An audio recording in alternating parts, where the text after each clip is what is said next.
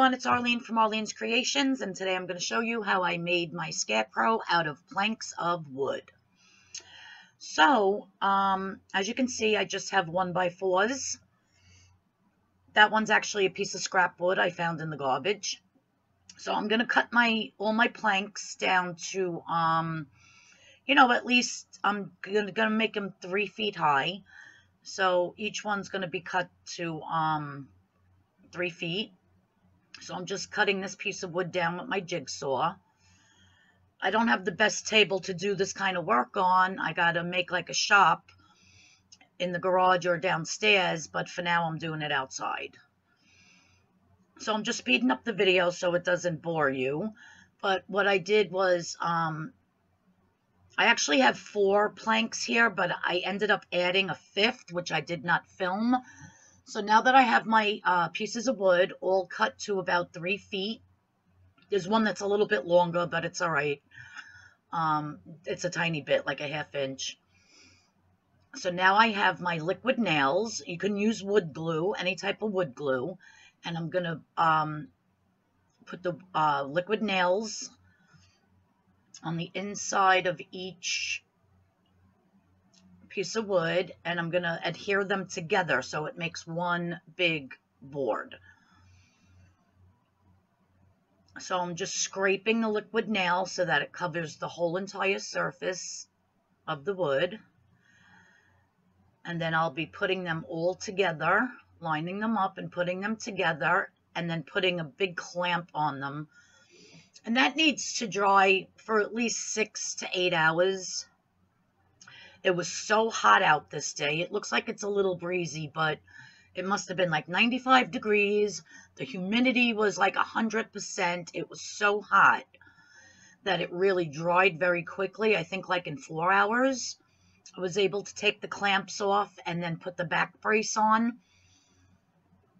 But so what you want to do is once you have, and you can make this as tall as you want, as small as you want, but the ba basic concept is to with nick with the liquid nails or with the wood glue is to just um, put it on the both sides, stick them together, and then you're going to see how I clamp it.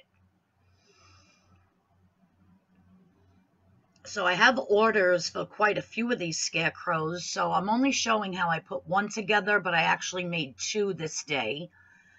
And I have another three that I still have to make. So I'll be working on them next week. Right now I'm in the middle of doing a 200 uh, piece soap order and I have a cookie order that I have to do for um, 40 cookies for a bridal shower. So I'm going to have to stop the woodworking for a couple days and get that stuff done. And then today is Wednesday. So probably Monday I'm going to start my uh, my other scarecrows.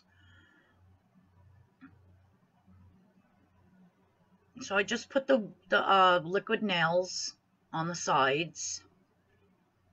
Yeah, when I looked at it, I thought that the four planks, like the scarecrow face, looked too skinny.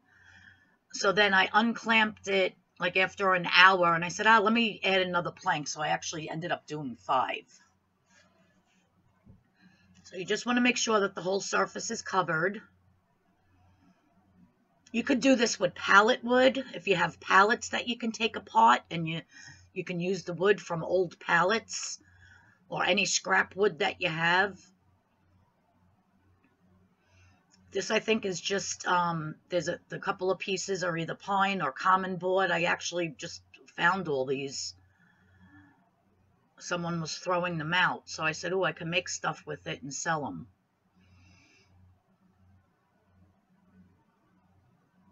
So we're just going to put this together.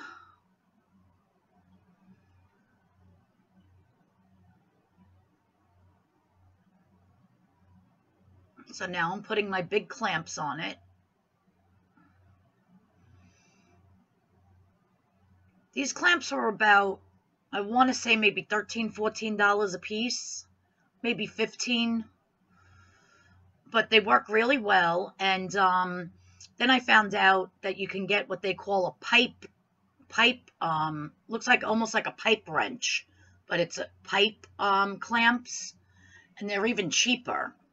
So I think when I go back to Home Depot, I'm going to have to get um, some of those because I could only make one thing at a time because I only had the two clamps. But if I had more clamps, I could I could just bang a whole bunch out all in one day.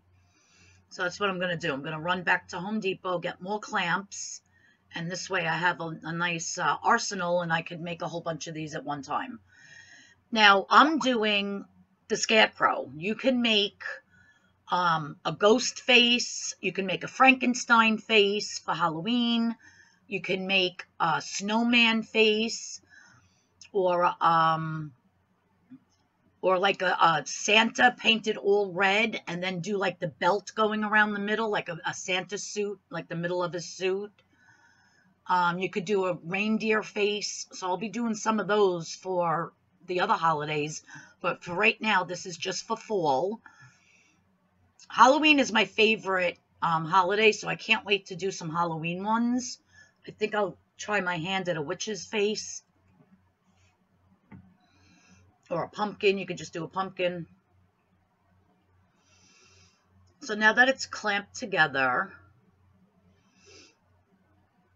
I'm unclamping it now because now it's been drying for about four to five hours.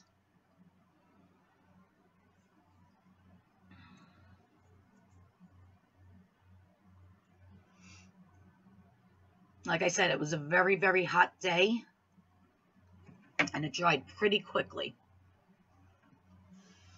So now what I'm going to do is I'm just going to take, you can use a furring strip or any scrap piece of wood that you have.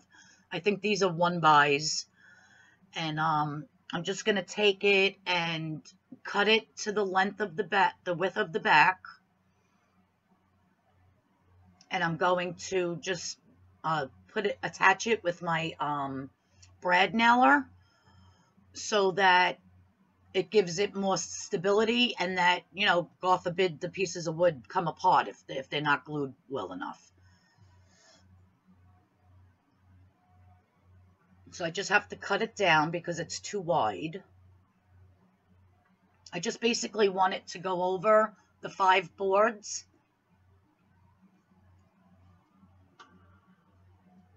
And I'm just going to nail it in place. You could use regular nails. You can screw it in with screws if you don't have a brad nailer.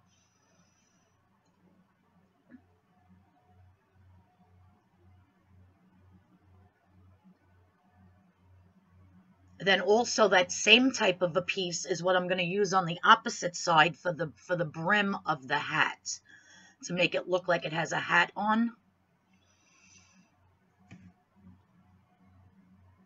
All right, so now that I have that piece cut, now I'm just going to take my brad nailer and I am going to just nail it into place. And this, like I said, is going to be a support bar for the back. These are so easy to make. If you can find the wood or take apart pallets, then the wood is free, so it's not costing you for the wood, which is the most expensive part and it's just a matter of paint and some decorations. You'll see how I decorate the top of the hat, how I do the face, but um, I want to get started early, like over the winter. I want to just make a whole bunch of them and put them, you know, store them in my basement somewhere. If I have room, my husband's going to kill me. And do like a nice craft fair next fall and really have a lot of them to sell. So that's going to be my projects over the winter is to make Thanksgiving, fall Thanksgiving, Halloween, and some Christmas. I could probably do like a bunny one, like with bunny ears or something for, for Easter. So there my board is attached. Now you could see the bottom of it, like the, the wood's not all even across. I could actually go in with the jigsaw and cut that even, but but I didn't. I mean, it's not that big of a deal. These are actually just going to, um, like, be standing. Uh, one is for my cousin, she ordered, and she just wants it for inside her house. So I'm going to be putting just two blocks of wood behind it so that it stands up, you know, so she doesn't have to lean it against the wall. But if you wanted to, you could put a pole, a metal pole on, in the back to put it on your front lawn.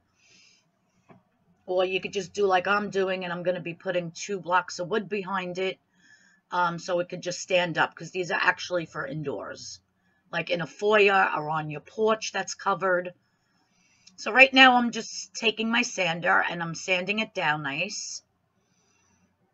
You want to make sure that if any of that liquid nail seeped through the seams that you really get in there good and get all that off. So I'm just going to continue to sand until it's nice and smooth.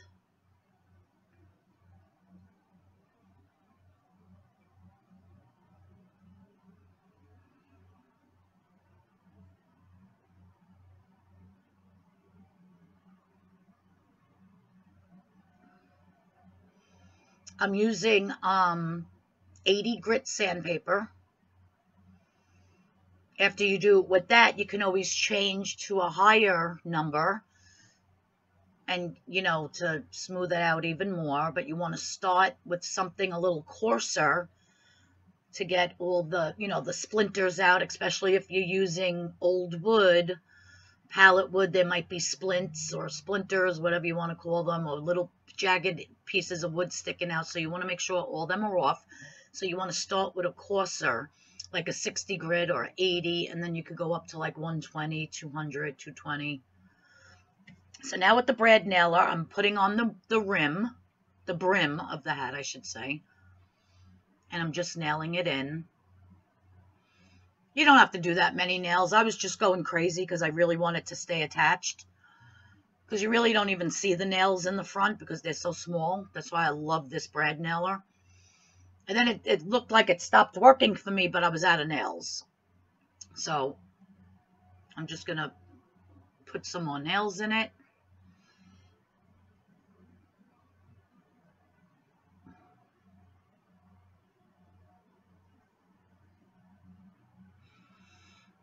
And then add a few more just to make sure it's on there real well, which it already is, but I just want it to be extra. And I love using that thing, so I, the more I can use it, the better. so there you have him. That's that's gonna that's the base. So as you can see, I have two of them going. I didn't film the other one. So now what I'm doing is the face parts, I'm just painting. It's actually, it's not a white white and it's not beige. It's like a antique white. So it's uh, not 100% pure white. But you can paint the face any color. You could paint it like a straw color or, you know, a, a beige. But this is what I had on hand, so this is what I'm using. I didn't want to go out and have to buy anything. I have a ton of paints in the garage. So whatever I found is what I'm using. I think the worst part for me is waiting for everything to dry. Like, as soon as I paint it, like, I want to start decorating it and putting the eyes on and all that, but I did two coats and you have to let it dry in between. So that's like the, the, the hardest part for me is waiting for things to dry. I hate waiting for things to dry. But you got to do it. I got a little bit of the white paint on the bottom of the brim of the hat, but when I go inside and I do the eyes and everything and I paint it on my dining room table, I'll show you. I fix all that up, so it actually came out perfect. So I'm just continuing to paint. You want to make get a nice good coverage. And all on the sides. I didn't finish the back of these pieces. If you want, you can paint the whole back, but because these are going in the house or on a porch or up against the wall, I didn't do the backs. And if you were to keep these outside, you would want to put a light coat of polyurethane on them or some type of a sealer just to seal it from the elements but I'm actually putting some straw underneath the hat and on top of the hat and some flowers that I picked up from Michael's. So this really isn't that great to keep outside because of those elements. But if it was just just the wood without the other embellishments, by all means, you can keep it outside in the weather. You just want to protect your paint and put um, either a polyurethane or a sealer on it. And if it's going to be staying outside, you want to make sure you get a polyurethane that does not yellow. So they sell them. I know there's a company called the Winfield Collection that sells a lot of patterns for the outside. And um, they sell the polyurethane that does not yellow. You put it on and the way it goes, that's the way it stays. There's a lot of polyurethanes that once you put it on and it's out in the sun, it turn it'll turn like this white paint. It'll turn it like a light like a yellow. It's very crazy how it does it, but so just be careful when you buy your polyurethane. Ask them if it's going to make your your piece uh, yellow because you do not want it to yellow over time. I mean, it takes a while to get to that point, but if you're going to put it out every year, probably like by the, the fourth or the fifth year out in the sun, it's going to be yellow. So I'm just continuing to paint.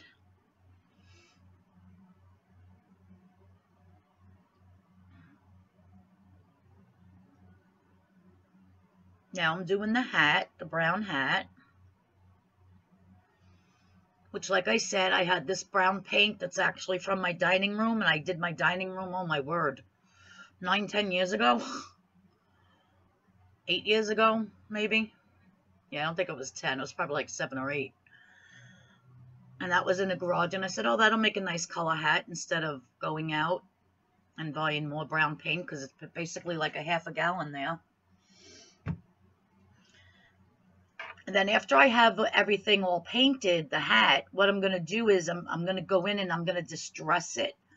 So I have those little bottles of the craft paint on, on the end of the table there that I got from Michael's, or you can get them from Joann's. They're very cheap. Sometimes you can get them on sale for 50 cents for the little bottle. Otherwise, they're like a dollar. Um, I've never seen the Dollar Tree sell them. I have to look. I really don't go in there looking for paint, but next time I'm in, I'm going to look and see if they have any craft paints like that. They're just acrylic paints. And I have it in like a gold tone, a copper, and a darker brown. And I'm just going to like try to distress the, the top a little bit. So I'm just going to continue to paint. It's the only paintbrush I had besides the roller I should have ran out and bought bigger paintbrushes, but that's all right. I got it done.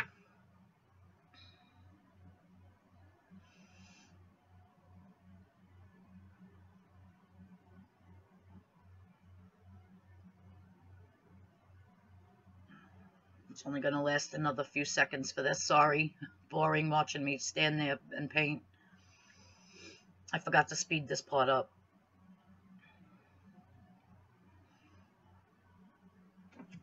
So once every, so once your whole hat is painted, then I'm just going to show you real quick. I think I sped up the wrong one. I wanted to show you how I distressed it, and I think I sped up that, that one, but we'll see.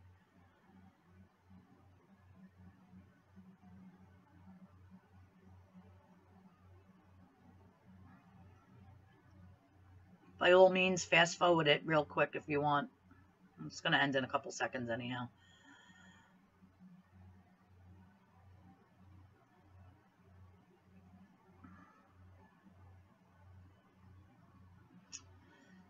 All right, so now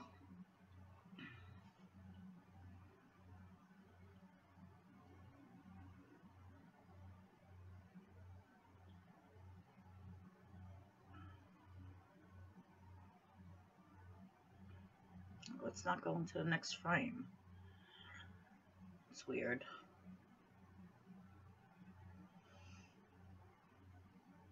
I don't know what's going on here, but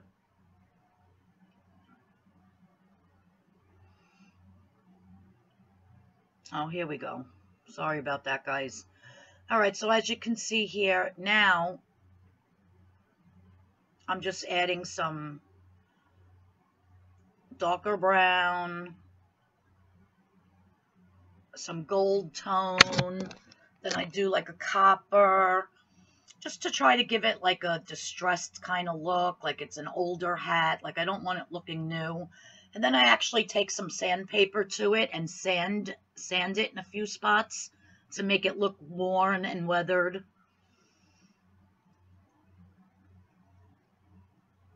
And you could do it however you want. You could do a black hat if you want. I think these are super fun to do. They're super cute. And uh, if you can get the wood for free, you know, it's just time consuming. But if you can get your wood for nothing, it's uh, a nice little project for free that you can do. And then if you can sell them, that's even better because you can make money like I said, the most involved part is um, waiting for everything to dry, putting it together. So it's a little time consuming. So of course your time is worth money. But um, as far as the, the supplies, if you can get the wood for nothing, I actually went to the back of Target in their dumpster because they were redoing the Target and doing something over there. And they were throwing out so much wood. I just grabbed it out of the dumpster and brought it home. I mean, I think I got enough to maybe do six or seven scarecrows.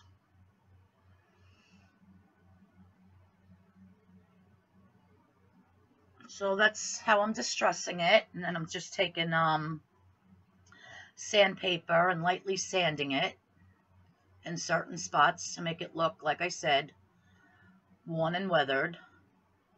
You, you don't have to do this part if you don't want. You could skip this part, but I just love the way that looks. just adds so much character to the piece.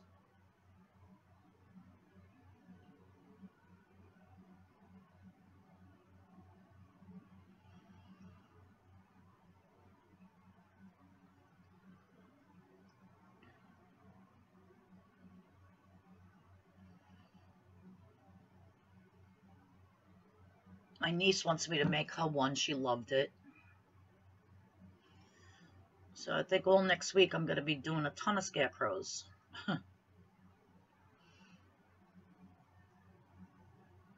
I want to make sure I get one for my house. Every time I make stuff, people I put I post it on Facebook and people see it and they're like, "Oh, can I get, are you selling them? Can I order one? Can I order one?" And I never ever have anything for my own house. So I definitely have to make sure I'm, I have one for myself. Cuz I I think they're so super cute and I just love making them.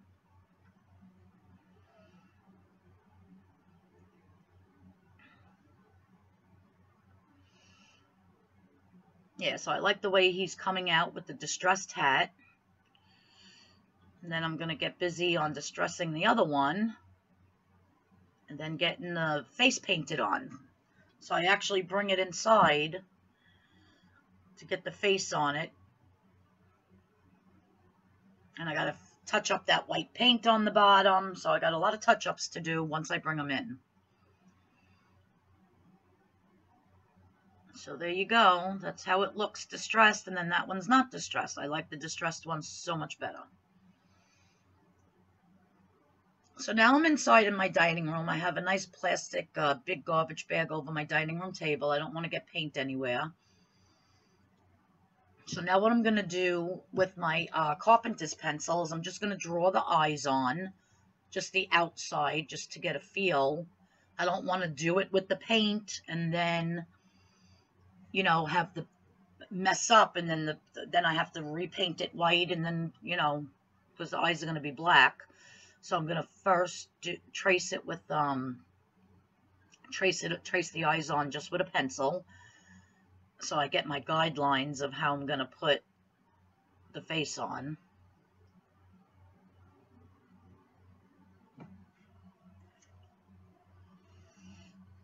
So once I get that done, I'll be painting in the circle black. I'm also going to draw the carrot no uh, carrot, thinking of a snowman, the triangle nose, just so that I get it even in the middle of the eyes and in the middle of the boards.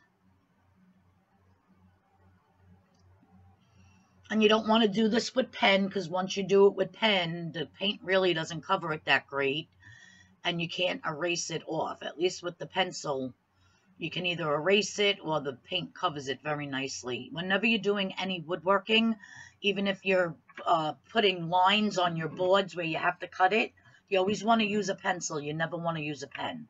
And those uh, carpenter pencils are so, so, so cheap at Home Depot.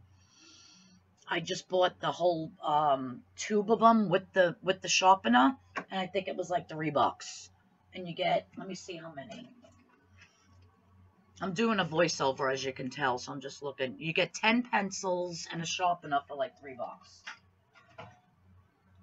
So now I'm just painting the eyes on with black acrylic paint and a small paintbrush. To where I did my outline and then I'll fill it in in the middle.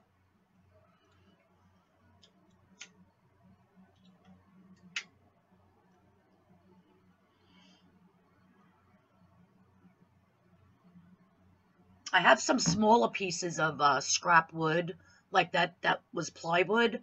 So I think what I want to do with that is cut out some bats and um, like put a hole in the top and hang them from my tree in the front so I could have all like wooden bats. So it looks like they're flying under the tree. So I think I'm going to make some wooden bats. I'll do a video on that.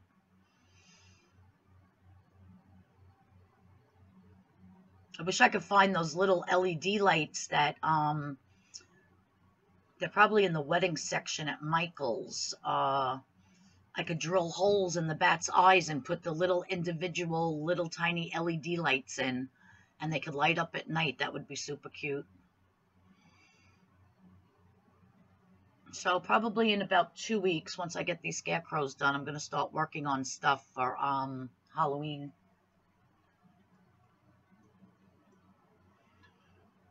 I know I need to make a couple of ghosts for my front lawn. Not not like this with the pallets put to with the wood put together with just you know plywood. I'll cut out a few few ghosts. I used to make lawn ornaments years ago, but my lawn ornaments were gorgeous. I mean, the detail was ridiculous. This is like freehand and not a pattern. I'll have to do a separate video on, on lawn ornaments that I used to make years ago. But my husband threw out all my patterns by mistake. The knucklehead. I had over a $1,000 worth of patterns. My witch's brew was gorgeous.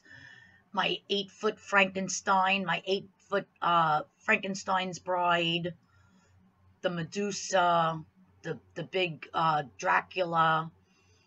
Like literally took up the whole piece of plywood, and the oh, used to take me like at least fifteen hours to paint all the detail. Absolutely gorgeous. So I'll have to put just a little uh, thing together not a DIY. As a matter of fact, I don't even have any of them for my own front one because every single one I made, I sold. But my cousin Catherine, who bought a lot of them, and uh, Mary Naftel, um, they always put theirs out every year, and I could always just run past their house houses and take pictures.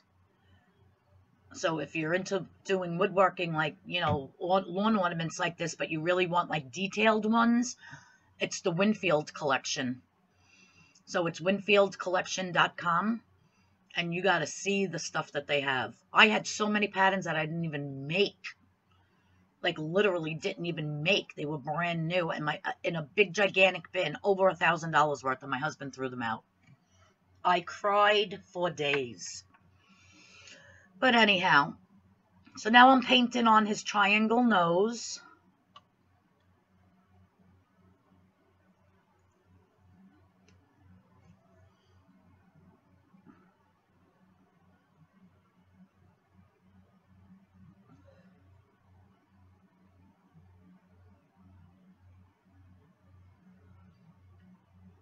Then what I'm going to do is put two white dots in the eyes and do the eyebrows with some stitches. And then I put the black stitches around the nose. I was going to put the stitches around the mouth too, but I decided not to. As you can see, there's another scarecrow in the back on my floor. But anyhow.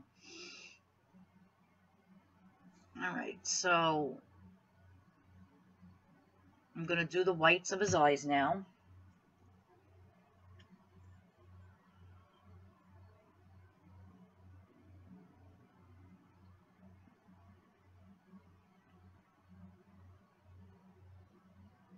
I didn't mean for this video to be so long, but once I start doing the voiceover, I hate to stop it because then for some reason it doesn't sink in with the rest of the um with the video once then when I restart it and do it I got to learn how to do that so it's basically almost over I'm just going to show you how I finished the mouth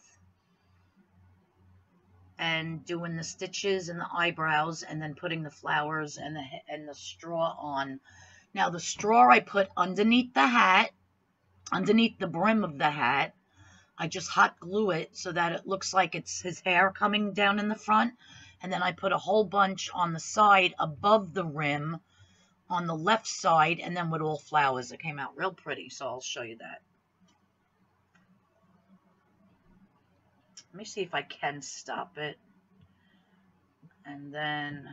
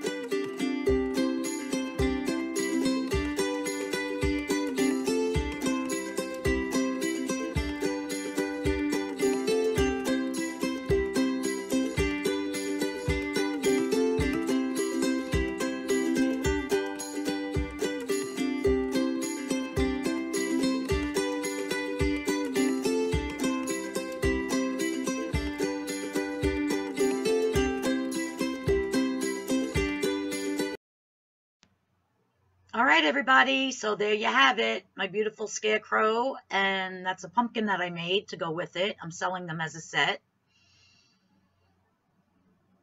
So I really love, sorry about the shaky camera. I don't know what the heck's going on there, but, um, so there you have it. And, uh, thanks for watching the video. I really love the white pumpkin, like the distressed white farmhouse country type of pumpkin instead of doing an orange one. So I think this makes a perfect set for your porch or for in your home. I appreciate everybody that watched. If you um are not subscribed, please hit that subscription button. Please give this video a thumbs up. And if you are going to make some scarecrows or pumpkins, I'll do a video on the pumpkin. I just don't have one right now. Um, if you're going to make some, please, uh, in the comments, show pictures of your creations. And thanks, everyone, for watching. Everyone have a blessed day. Have a happy fall. And hit that notification bell so you know when my next project is coming up. All right, everybody. Have a great day. Bye-bye now.